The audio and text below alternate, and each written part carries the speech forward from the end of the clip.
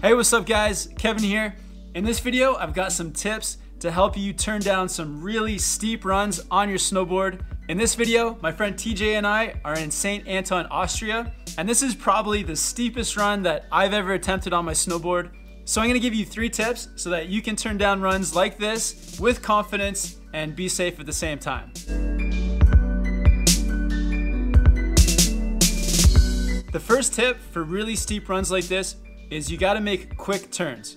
If you allow your board to go straight at all, you're gonna pick up too much speed and that's gonna cause you to get out of control. So to make quick turns, you really need to turn your board with your whole body.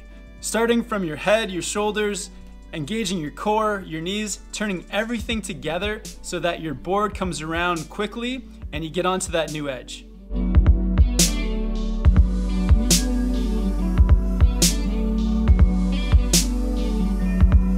The next tip will help you avoid one of the most common problems with steep runs like this, and that is getting stuck on your heel edge. It's very common to get stuck on your heels uh, because it's hard to commit to that toe turn. The best way to commit and get onto your toes is to do two things.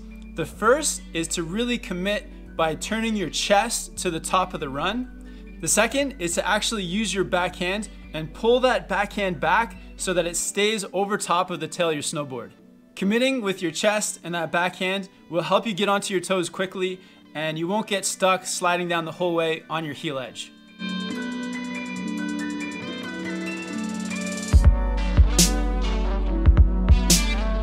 The next tip for really steep runs, and this is maybe the most important, is to keep your weight centered over your snowboard.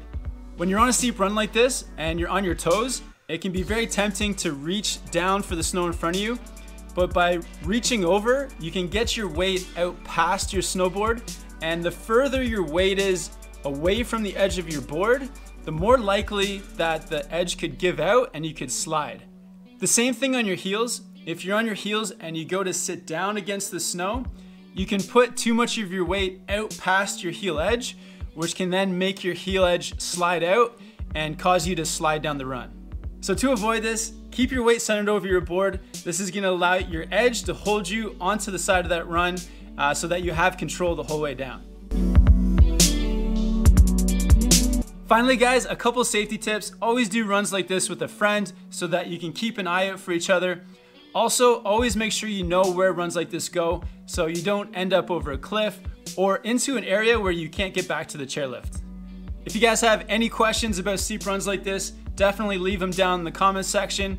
If you guys want to check out our snowboard gear from this video, I'll put links in the description. Thanks for watching guys, have fun out there riding, and I'll see you in the next video.